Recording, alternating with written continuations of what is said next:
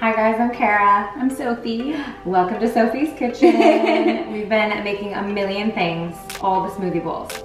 But today, we're gonna make something fun. Yeah, we're gonna play with all the leftover smoothies that we have and layer them. And you guys can do this at home. Super easy if you have like a leftover smoothie or a yogurt bowl. You can actually layer them. yeah, you could even do chia seed pudding. Yeah. You could do overnight oats. Overnight oats. Mm -hmm. Yeah. You get all the different flavors in one cup.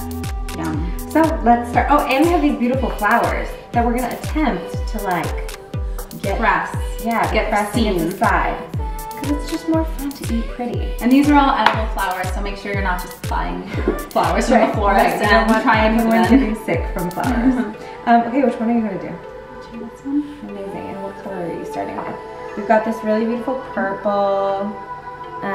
We have and white. This is the Kite Hill vegan yogurt. Yep. And then this one is cherry and mm, berry bliss. Berry bliss. This is spinach and banana.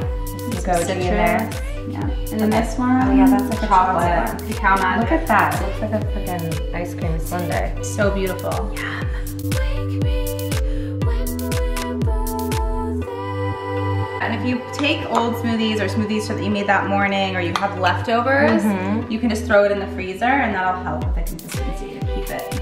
Yeah, it's a good incentive to make a little extra smoothie too and then just freeze it for later. Okay. So, it's time. It is the time. Okay, so we're gonna press him against the edge.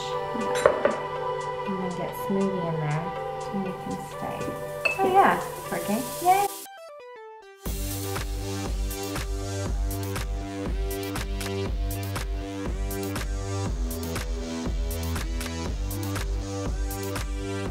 And Sophie, we used like uh, all of your delicious superfoods in didn't we? Yes, we did, everything. So the berry bliss is in all the ones that are berry flavored, green dream in the green, and then cacao magic in the chocolate.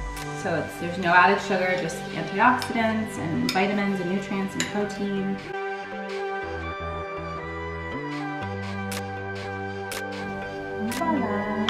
Cheers, you guys. Cheers.